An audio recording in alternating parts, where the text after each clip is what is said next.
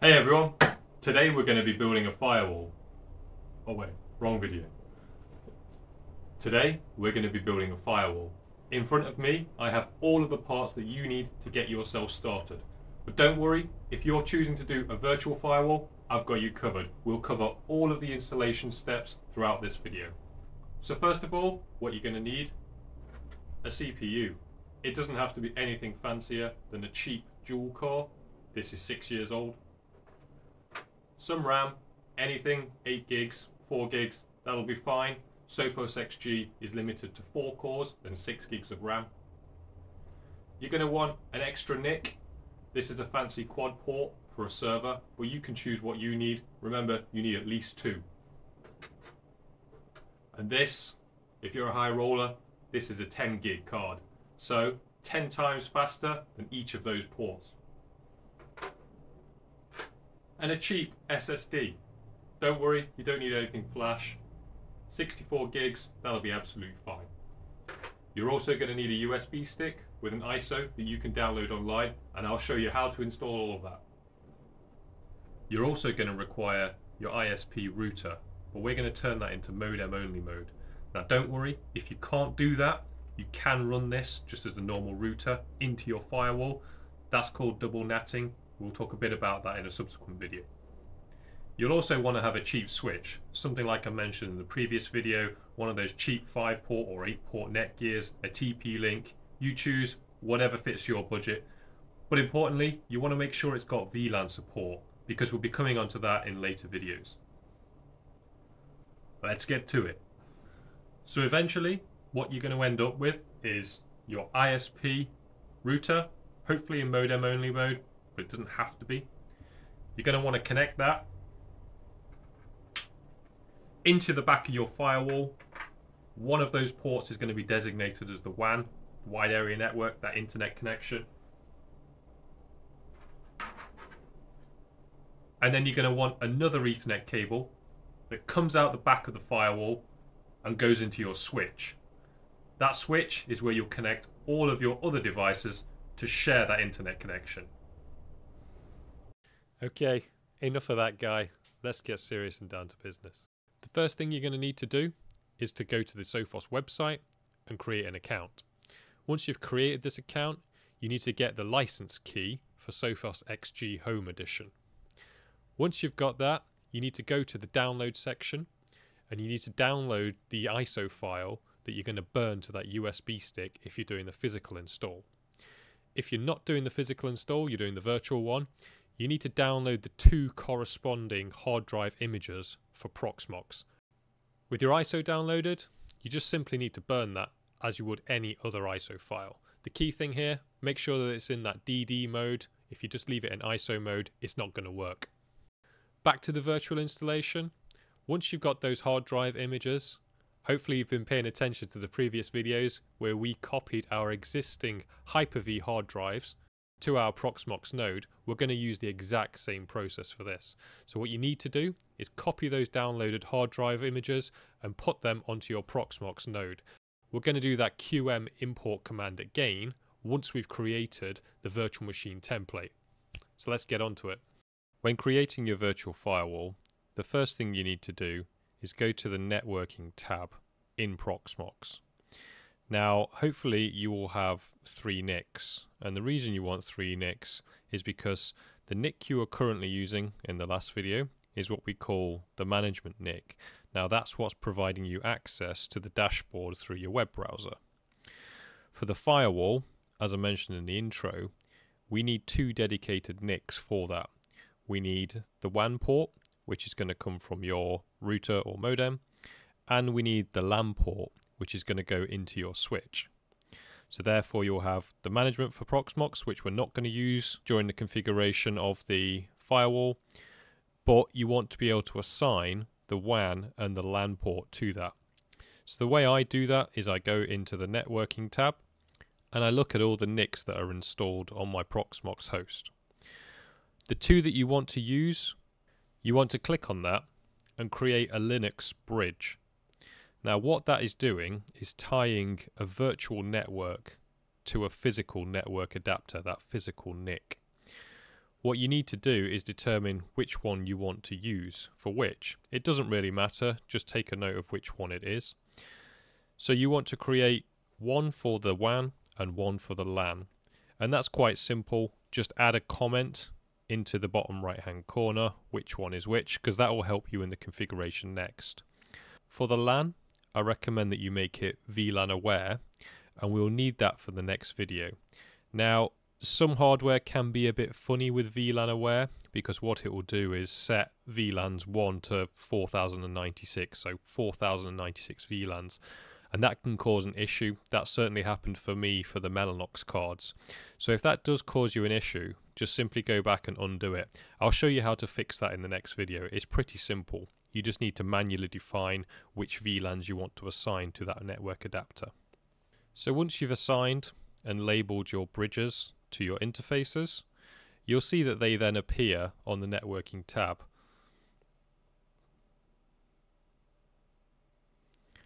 They'll be called something like VMBR and then a number.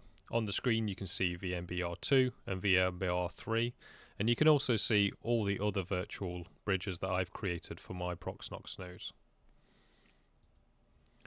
Once you're happy, you need to hit that apply configuration. This may briefly interrupt your connection, but it should seamlessly come back online and you should be okay. So the next step is pretty straightforward. We're just going to create a standard virtual machine as we have done before, but there are a couple of things we want to tweak from last time because this time we're using virtual hard drive images as opposed to having an OS to install. And also, we're not going to be creating disks during the creation because we want to import existing disks. Now hopefully this process will show you just how simple it is to deploy Sophos XG as a virtual firewall. It's so much quicker than having to download an ISO, burn it to a drive, stick it in a machine, change the boot order, and all of the things that come with it. This is also going to give you a lot of flexibility in the future. For example, if you're installing this using 1 gig NICs, it's very simple to be able to buy a couple of 10 gig NICs, put them into your Proxmox node, and then simply change the virtual bridge that you're assigning to Sophos. And Sophos won't care because you've got a layer of virtualization in there. You can change the MAC addresses to match what it's expecting to have. So it's really, really powerful. So make sure that you give it a name. One thing to take note of is to make sure that you click Start at Boot. This tripped me up a few times before because when I'd rebooted my node, um, I hadn't checked start at boot, so I was wondering why my network was broken. So if you ensure that you click start at boot, that means every time you turn your Proxmox node on, the firewall should start up. So that's really handy if you've only got the one Proxmox node, because without turning that on, you'd have to manually log into the terminal and then turn it on. So with this on, every time you turn it on, your network should come back to life. So on the OS tab, simply click do not use any media and hit next. On the system, you can just leave that all as default and move on. On the disks, you're going to want to remove that disk because as I say, we're assigning our own. CPUs is up to you. It can use four cores in the XG home version. You also want to make sure that you change that type to be the host. For memory, Sophos can only use 4 gig, so I've just maxed mine out. I've also turned off ballooning device, which is that one where it's dynamic memory that we had in Hyper-V, because that will use all of that memory just from the start. In the network, you want to assign the LAN that you created, and we'll also add the WAN after this. You'll see that you can only select one NIC, so just select the one for the LAN, and after the configuration wizard, we'll go in and manually add another one. So once you've created that VM, you should be able to see it on the left hand side. And then if you go into the hardware tab, we'll need to do a few alterations. So what we're going to need to do is add another network interface. We want to add the WAN. So therefore we should have the Sophos XG LAN and the Sophos XG WAN. These are the two that you're going to want to have wires plugged into and I'll put up a diagram shortly to demonstrate that.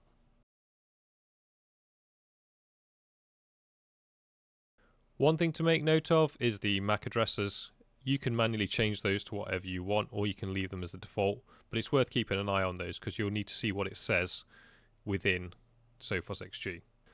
Once you've created the networks, you want to log in to the Proxmox console and run the QM import command as I'm showing on screen now.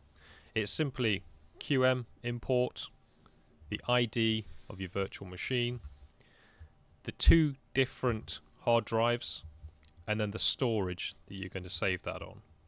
So on mine, you can see it's QM import 113. I do it for both the auxiliary and the primary hard drives, and I assign that to my NVMe drive. That's just the name of the storage that you have on yours.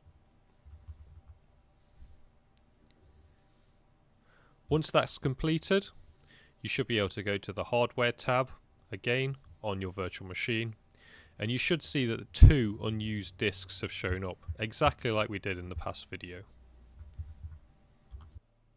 And just like in the last video, you need to click on those drives. Make sure you do the 0 one first, which should be your primary drive. Click edit and then just assign it to that SCSI 0. Click OK and do exactly the same for the next one and it should automatically put it as the SCSI 1.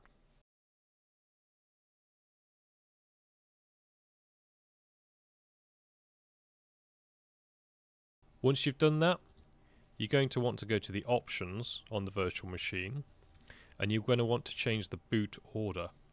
You want the SCSI 0 to be the first boot order. So go ahead and drag that to the top. Once you've done that, hit OK. And that's it. That really is as simple as it is. You just need to now start that virtual machine and voila, it will automatically install and it will present you with the login page. You need to log in using the default password, which is admin. You need to accept the license agreement. And once you've done that, you should be ready to go by connecting into your firewall.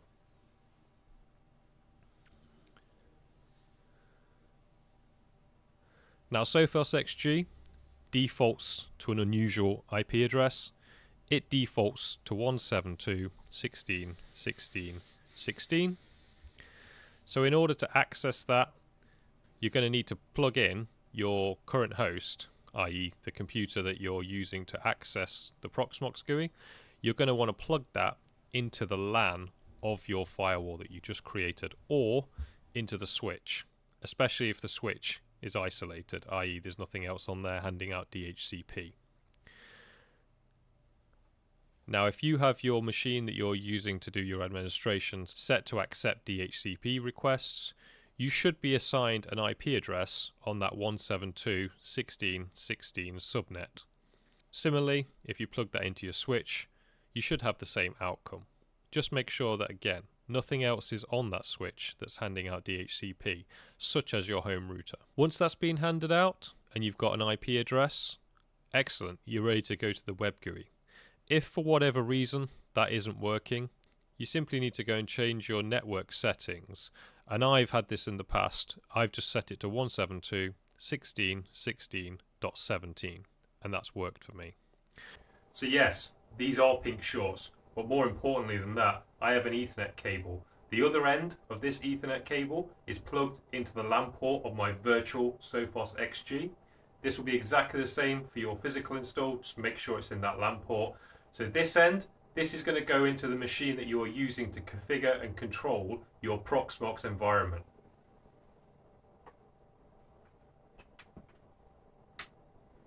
With that inserted, let's jump back this should now be able to be accessible through our host machine. So it looks like we've had some success here. After I plug that in, I went to HTTPS. Now make sure it's HTTPS, even though it's using a self-signed certificate, which is generating this error here in Chrome.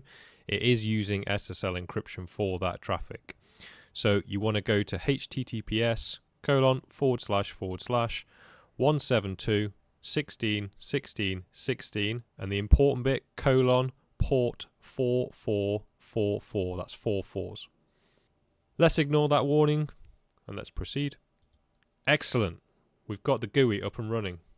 We'll accept the user agreement and we'll start the setup process. So this should be pretty straightforward. Put in a password that you want to put in. When you're doing this, you may as well leave the tick box for the latest firmware. That will go off, scour the web, bring down the latest version for your install. Now during this setup, I haven't plugged my router into our Sophos XG because I only have one and it's already working on my network. I recommend that you don't plug in the WAN port whilst you're getting used to Sophos XG, I recommend we just install it on the LAN and you can have a play and understand the GUI. When you feel confident, you can switch over your WAN port into the Sophos XG and hopefully all the devices on your network should just work because the default will just be to allow that traffic through to the internet and you should be fine. So in order to continue, you're going to have to click continue offline. Being offline won't allow you to register, but that's not a problem. We can register anytime later, and we already have the registration key provided to us in the email during the registration process. This should be straightforward. Give your firewall a name, select the region you're in. This would normally auto-populate if it was online, because it can go and scour Sophos' servers to determine your location by IP address. It's up to you if you want to opt into the customer experience improvement program. I typically don't.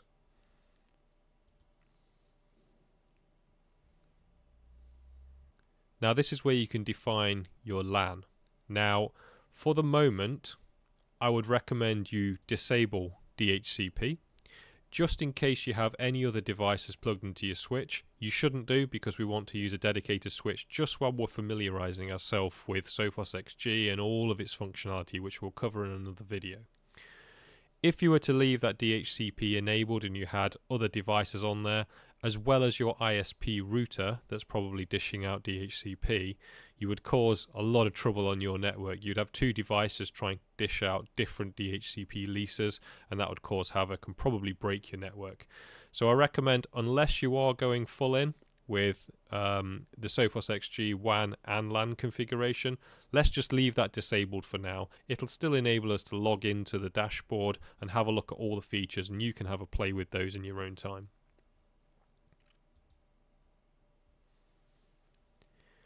I'm going to leave these disabled for now, and we're not going to get to cover it in this video. But these are all the things I spoke about in the last video when I was talking about what an adaptive security appliance can do. So these are all the kind of advanced features. So I recommend you have a look at these, you go onto the Sophos website and you do some deep diving into each of these topics.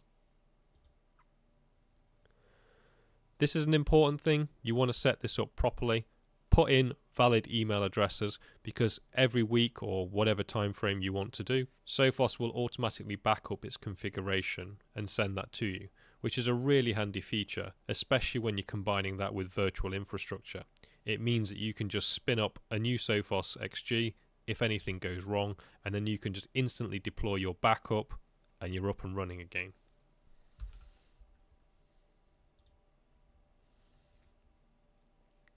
So once you've done that, you'll get a configuration summary. Just have a look through there. If there's any errors that you've introduced, just go back and fix those. But hopefully everything's okay and you can just hit finish. Now this is where the magic's going to happen. Sophos XG in the background is configuring and doing the final steps for installation. Once that's completed, the page should automatically refresh and you'll be presented with the default login page. So go ahead and use your admin and then put in the password that created during installation. And there we have it. Congratulations, you successfully installed Sophos XG either virtually or physically, and now you've got everything you need to go and have a play. I suggest you set the storage master key. This is for encrypting your backups. So hopefully you've been able to follow me and we've just hit an epic milestone in our home lab journey. Not only do we now have Proxmox installed on a dedicated server, we have a Docker host set up running on that Proxmox server, and we also have XG installed as a virtual machine or physical machine. We pretty much have all the bare bones necessary to make an awesome home lab. In the next video, I'm going to be taking you through the more advanced features of Sophos XG. So in advance, I recommend you go to their website and read up on all of the features you're going to see on there. We're going to be covering topics such as VLANs and how we can configure those because we want to get to a position where we're able to expose some of those containers to the internet. Awesome job.